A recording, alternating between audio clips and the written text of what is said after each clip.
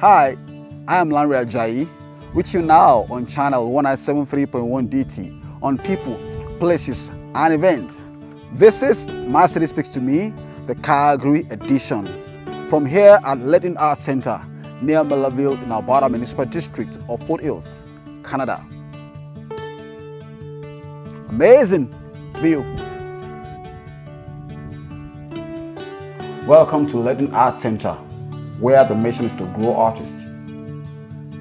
Leighton Art Center is a place that connects you to art, history, landscape, and a legacy of our Alberta art pioneers, Alfred Crocker and Barbara Leighton. The Leighton Art Center was founded by Barbara Leighton in 1974. The Leighton Art Center is situated in A.C. Leighton and Barbara Leighton's original home. It's an art gallery, museum, and art education center located on 80 acres of land just outside of Calgary, near Millarville in Alberta Municipal District of Foothills. Now a provincially designated historic resource, this unique arts and craft inspired home was designed by A.C. Leighton in the 1950s and boasts some of the most breathtaking mountain views in southern Alberta.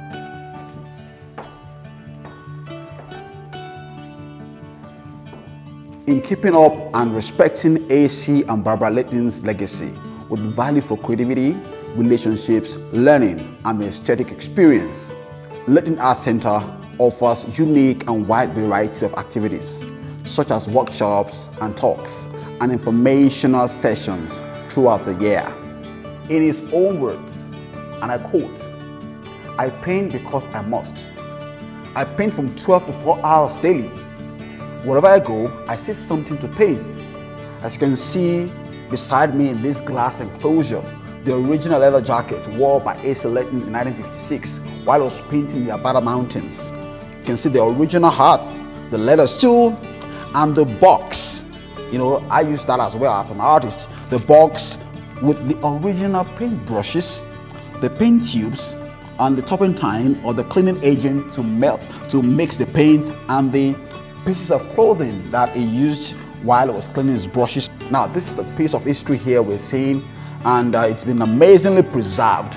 You know, for you to see and to learn a bit of history here at the Leighton Art Center. Barbara Leighton was born in Plymouth, England in 1909 and moved to Alberta with her family. She enrolled in Alberta's Provincial Institute of Technology and Art, now Alberta College of Art and Design, and left school and married A.C. Leighton in 1931. She became elected member of the Canadian Society of Painters, Etchers, and Engravers. In 1965, she returned to the Alberta College of Art and graduated with a diploma in fine art in 1970. Between 1970 and 1971, both her and her husband purchased the Ballyhamage Schoolhouse and in 1971 officially opened the Leighton Center for Art and Craft, now the Leighton Art Center. In 1972, she visited Ulukhaktok, formerly Holman, to share her printmaking skills with its First Nations community. The Leighton Foundation was officially incorporated in 1974. In 1984, she was awarded the Alberta Achievement Award for contribution to Alberta arts and passed away, sadly, in Millarville on April 18 at the age of 77. A.C. Leighton played a significant role in developing art and culture in Alberta throughout the 20th century. Born in Hastings, East Sussex, England in 1901, he joined the British Royal Flying Corps and left because of an injury in 1918. His illustrative works of the Canadian Pacific Railway are still fashionable and appreciated almost a century after their creation and the arts communities that he played a critical role in founding, such as the Alberta Society of Artists and Banff School of Fine Arts, continue to thrive till today. A.C. Leighton moved to Calgary to take position of the art director at the Provincial Institute of Technology and Art and received full membership into the Royal British Academy. In 1991, he married Barbara Mary Harvey and co-founded the Alberta Society of Artists. As the second president of the Provincial School of Technology and Art, now called AU Art, AC brought the rigors of traditional art training to southern Alberta. It was an example to all Albertans that solitude is a companion to inspiration and artistic productivity. Living a diverse body of work which can be found in art collections and as architecture across Canada and England. Alberta had much to gain from this traditional Englishman. Here at Leighton, nature is the inspiration, the classroom and the playground. Art and nature program for school groups. This is a four-hour on-site school program combining exploring art in the Leighton Art Center's museum with hands-on art lessons in the historic art studios. The program includes a dedicated instructor for each studio who in addition to your art lesson will promote visual literacy, thoughtful observation, critical thinking and discuss how to gain inspiration from the landscape around us. With 80 acres of foothills landscape, students will enjoy a nature walk while recording their thoughts and experiences in their own sketchbook. The mission is to inspire an appreciation of art and nature and to discover the connection between them.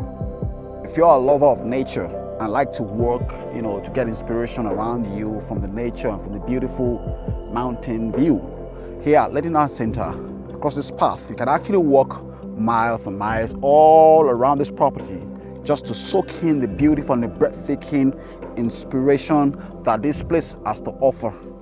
Still on My City Speaks to Me, the Calgary edition, still exploring this amazing space created by AC and Barbara Leighton. And I have someone here that will be taking us on a tour of this place to give us a background information and you know more information about this amazing space. And it's no other person than the executive director of the Leighton Art Center, Stephanie Doll. How are you, Stephanie? Good, thank you. How are you? So what brought you to the Leighton Art Center? I so I started here as a summer student back in 2012 and there's an amazing historical collection at the Leighton Art Center and I was just fresh out of university and I got to play with the collection and I was the curator for for seven years. So Wow. yeah, I uh, I did that and then the last two years I've been the executive director. That is amazing. So nine years straight you've been here Yeah. enjoying this place. Yeah, and it went by like this. So take us on a tour of this space. Yeah. So we're just outside, we're in the parking lot of the Leighton Center. We have the Historical House, which is a museum and an art gallery. Uh, just right here we have the office of the Leighton Center. So that's my office. We have a communications coordinator and our curator works in there. And then just down this beautiful path is uh, to the education program. So we can go for a walk later and take you down there. Okay. Um, but I'll take you into the house. Just before we actually go into the house, I think it's important to note the beautiful gardens and the grounds of the Leighton Center. All this isn't possible without our volunteers. Oh. So we have many volunteers who help uh, work on this garden throughout the summer. So we're really, really thankful. And they every look so year it better and beautiful. Yeah, it is, and it's so beautiful throughout throughout the summer. So, I, if you're even just coming out for the art or the view, you have beautiful gardens that you can enjoy as well. It's amazing. Yeah. So we're inside the original home of Alfred Crocker and Barbara Leighton. And then we're gonna be exploring all the amazing things that this place has to offer. Over to you. So we'll just do a little walking tour of the house, but this is the front entrance. So if you're visiting the Leighton Center, this is where you're gonna first come in and meet everyone. Usually you'll be greeted by our wonderful staff. Uh, Allison, she's running the gift shop right now, and she always gives tours to people who walk through the house, and she makes sure everyone feels welcome and understands the history of the place. But I'm gonna take you actually to the museum, and then we'll go through the gallery, and then you can check out the gift shop. Okay. we head up. Let's go. Go. We're at the museum. Yes. So tell us about this space. Yeah, so this called the Great Room and it's dedicated to AC Leighton. So AC came from England to Canada in the early 1900s and he came with CP Rail and was doing posters for CP Rail. Uh, those posters are really popular right now and a lot of people would recognize those designs. Uh, he's really well known because he played a really important role in uh, Alberta arts history, Yeah. basically. So a lot of Alberta's biggest artists were actually trained by AC Leighton. That's Uh, he was, yeah, he was one of the first directors of, um, it was called the Tech at the time. It's now uh, the Alberta University, University. of the Arts. Yeah. Yes. So I can imagine these are original wooden furniture. Yeah, so this room, we actually have a, quite a large collection with AC Leighton's work in it. Um, so all the paintings you see in this room are original works of art by AC Leighton. The house itself was designed by AC Leighton. So his first career before, well, he was trained as an architect before he became a fine artist. Hmm. And so the whole house is basically an artwork of his. Wow, that's and amazing. Then, and then the wood furniture that you see, that's his, his art as well. That's amazing. So we're actually walking, we're standing in the midst of history. Yes, oh, absolutely. So the house itself is basically a piece of artwork. Wow. And uh, AC Leighton was really big into arts and crafts movement, so he was really about making beautiful things for beautiful spaces, and he was all about the hand of craftsmanship. AC was a plein air artist and a landscape artist. So he would paint outside most of the time. Most of his time was out in the mountains hiking and painting and drawing and sketching. And then he would go into his studio and complete the paintings. So he made a ton of work. And if, actually, if you're looking at a lot of original fine art auctions, um, you'll find AC Leighton's work come up quite often. That is amazing. Yeah. So in terms of the museum, it's broken into different little areas that tell you AC Leighton's life. So this section gives you the full overview of who he is, where he came from. This little area is dedicated to the first you know, part of AC Leighton's life. So he's from England. He was a toy designer and a model designer in his early career. And then over here, this just shows that he was scouted by CP Rail. Uh, where these posters were stored in London, a lot of them were lost during World War II, wow. during the Blitz. So there's only a few originals left. Wow. yeah. Um, and then after AC Leighton left CP Rail, he, uh, he was a teacher at uh, AU, and uh, well, that's what it's called now. Yeah. Um, but that's what the rest of this area is dedicated to, was the art that he created in that time. So like I said earlier, he was a plein air artist, so he spent most of his time painting outside. So that's why we've dedicated uh, this area to showing him out in the mountains and on trail rides and a lot of some of Alberta's best artists in the mid 1900s were trained by AC Leighton as plein air artists. That's amazing. You know, you, you can, can, you know, I can imagine back then living in this beautiful space and looking out the window yeah. to the spectacular mountain view of the Albertan Rockies. Yeah, and that's you know. actually why he bought the, or bought this property to build this house was uh, in the 1950s. AC was coming to the end of his life, and he was he wasn't very healthy at the end of his life, so he couldn't get out to the mountains to paint. Wow. So that's why they bought this this property was so that he could keep painting mountains even if he was unable to do trail riding. You know, just waking up early in the morning and looking out the window, you can get the inspiration on what to do, what to paint for that day. Yeah. So amazing. Yeah. So Barbara always said it was hard to go anywhere with AC in this area because he every time he was driving he was always very distracted. Yeah. And by everything he saw he'd always have to stop and you know take a look and yeah. get some inspiration and, yeah, and make a plan to come back and do a painting. So when he came to Canada, like a lot of artists at that time, he really kind of embraced the Western culture and being in the West and painting outdoors. We, I love some photos here that we have of him um, playing with a lasso. And uh, he's really lucky because he met a student of his um, when he was teaching um, named Margaret Leighton. So, who became the wife? Who became his wife, yes. Mm. So she's quite younger than him. Um, but she was in school, he was her teacher for I think about a year or two years. And then she, they decided to get married. And once they were married, she had to leave school. Mm. And so she focused on managing him and his career. Um, but we can talk more about her then. But you see in these photos, and this painting is a perfect example of uh, Barbara was really into adventuring with AC Leighton. That's why they were such a great couple. Oh. Is she would always join him out in the mountains, and she wrote a lot of journals about their times out hiking and plein air painting. And so this was painted on their honeymoon. And wow. Yes, apparently it was a very, very rainy, rainy honeymoon, and they got off of a long day of trail riding, and. Uh, I think he just saw the perfect moment and asked her to hold still where he did a quick sketch of, of Barbara after a long trail run. That is amazing. Yes. so this little display here is about their honeymoon when they were out. The compass and, telescope. Yeah, and she, Barbara Leighton, she uh, made sure she documented the entire event. So we're really lucky to have that record. Of, of Amazing original collections. Yeah, it's so cool. Okay, so this is the green room. So as the green room is dedicated to AC Leighton, the green room is really dedicated to, dedicated to the life of Barbara Leighton. Okay. And Barbara Leighton was the founder of the Leighton Center. So as I was telling you earlier, she was an art student of AC Leighton's and she had to leave school once she got married. But when AC Layton passed away in 1965, she decided to, you know, instead of being out here all alone, that she was actually going to go back to art school. Okay. So in the 70s, she went back to art school. And uh, when she finished, she decided she would open her home up to be a place where she could actually teach art to the community. And so we've been doing that ever since 1975. More. Yes, you still meet a lot of people come through our doors and they'll remember Barbara Leighton sitting right here Wow. uh, doing craft and teaching craft. Or her home was also down at the schoolhouse. She would be in the studios teaching kids. So, and at that time, she also thought it would be a really great idea because she really understood the importance of her husband's work. She thought it would be a great idea to turn the house into a bit of a display for his artwork and then to open up the rest of the house to be an art gallery. To keep on the legacy Yeah. of what they started together. Yes. So we still have a lot of plein air artists who come out and they're really excited to show here because it's part of that continuous legacy.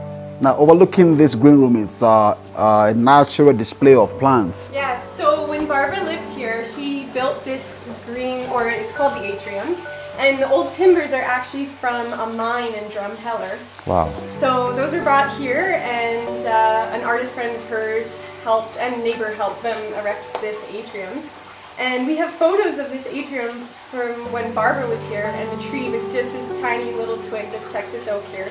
Wow. And so it's taken a lot of a lot of years and love and care. As you know, things don't grow very fast here, but we're really proud of this atrium that we've been able to get it to this point. And I think this space really speaks to the art and nature program for kids, Yes. students. Yes, and you know, I was just talking to a, a visitor who was here the other day, and we hear this a lot. People will say, I come, like, if I'm not feeling well, or if I'm having a hard time in my life, or if I need a little space from the city, I come and I sit here, hmm. and, you know, just listen to the water, and it's a nice relaxation. So soothing and so relaxing. Yeah, and we're really lucky that we get to be open to the public as much as we are. Um, so people can just come and enjoy this space. Yeah, anytime. So I guess that's the, the green room here. Uh, it's really important actually to talk about Barbara Leighton as a printmaker. Okay. That's what she was most known for. She was most known as a printmaker and a textile artist. And uh, you can see on our walls here, a lot of these works that we show you can actually find in auction in Calgary as well. Wow. Um, or in a lot of collections around Western Canada. So she was very well known for her prints. Um, her prints are titled Barley, so for Okay. Barbara Leighton. And the way she started printmaking was her and AC needed to create extra income, and so she would make block prints of his paintings so that she they were able to make copies. So that's basically The block printing is what she's most known for. That's Um, amazing. And so, as I was saying earlier, that uh, she started, she opened her house up to be an art gallery. That's where we'll take you next, is Okay. into the main gallery. yeah. Fair enough. Let's go check it out. Okay, so this is actually the original room of the Leighton Center. So this is the, or the, the Heritage Home. Uh, AC and Barbara lived here for about a year before they built the rest of the house. Okay. Yeah, and then so after AC Leighton passed, Barbara turned her home into a gallery and an art center. And uh, this is our main gallery. The gallery also extends through the hallways and up into the tower. Okay. Um, we have about 8 to 12 exhibitions throughout the year. So this space changes every six weeks. And uh, it's a it's a large variety of works. So sometimes we have emerging artist shows all the way up to very established, well-known uh, artists, as well as we do a lot of painting and sculpture shows, as well as installations. So it's never the same. That's amazing. You can see some porcelain work, some metal construction work, some prints, some watercolors, some glass works, and some beautiful, amazing landscape paintings. Yeah, so what you're seeing right now, it's set up like this basically due to COVID. Um, usually we do curated shows throughout the year, but Okay. because of the pandemic, that changed our schedule a bit for this year. So right now we're focusing on members' artwork. Okay. Usually the gift shop is where we focus most on members' artwork, and then we have two main festivals throughout the year where we feature members' work. And then the rest of the year, we take submissions from all types of people from all over the world. Usually, usually we don't just have paintings on the wall. Usually, it would be some sort of installation or curated show. But this is this is what we get now, and it's absolutely beautiful because we're so lucky to have such Wow. amazing members. Uh, talking in terms of the pandemic, how, in what way has this pandemic, you know, affected operations? So, uh, it, I mean, it's been a lot as the same as a lot of other galleries, but a big part of our program is the Children's Center. Yeah. And um, like I said, a big part of our program is bringing in school groups every day of the week. So we see about 10,000 school kids a year. That is amazing Yes. work. 10,000 kids. Yeah, they go through the education center a year. But in March, when the pandemic hit, it was we were basically given a day's notice, and all of a sudden, all the programs were canceled. Wow. So uh, obviously, it was a big learning curve for us. We've adjusted quite well, and we're really lucky to have the support of Calgary Arts Foundation to be able, um, or Calgary Arts Development, to be able to, you know, kind of Cushion the effects. Yeah. yeah, to adjust, we're we're putting more programs online, and then we're also right now working on developing a program for homeschool kids to come out, Yeah. as well as other like the Boys and Girls Club or Scouts to be able to come out during the week and on weekends. This is our gift shop. And so, if you're a member at the Leighton Art Center, we have over 300 members. Uh, you're welcome to have your art in this gift shop. And uh, right now, because of the pandemic, we've had the opportunity to actually create an online gallery. So a lot of this work is available on Shopify as well. Um, but if you look around, there's thousands, literally thousands of Works. pieces of fine craft and fine art in this. Now, these works are from members of Of the the center. Yeah, yeah. Now, for the benefit of our viewers Yeah. Who want to become a member, Yeah. probably an about artist or an artist from around Canada, Yeah. what is the process of becoming a member? So it's pretty easy. So it's fifty dollars to become a member here, and once you're a member, you're um, invited to show your work in the shop. And then we also have a big festival in the winter called the uh, Christmas in the Country that you're able to participate in or um, apply for. Okay. And then um, you also get a discount on our workshops. And you also get to participate in our Jury Member Show. That so that's cool. our largest show of the year. And it happens during our biggest festival of the year, which brings out thousands of people in one weekend. So That is- it's that a is so really great wonderful. opportunity. And so some of our members are emerging artists straight, you know, some of them are even in high school. And it's been really great to see people progress throughout the years. Hmm. So they'll just be coming right out of school and then all of a sudden they'll be getting a solo show a few years later. And they can make money, you know, from the proceeds. Yes, yes. So- That is another way, you know, very interesting to empower artists, local artists. Yes, and so we're, we've been really thankful that during the shutdown that we've been able to still support artists that way with the online sales. We've actually been doing um, selling a lot of artist members' work, so it's been it's been really good for them, and we're really thankful. That's cool. Yeah.